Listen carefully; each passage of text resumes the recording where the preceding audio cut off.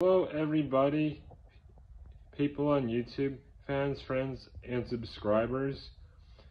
Um, I have something I gotta say. Um, this is my last video of 2022. Tomorrow I'm gonna upload my first video and community post of 2023 and I just want to wish you a happy new year's guys 2023 thank you all and have a good day and be safe, guys.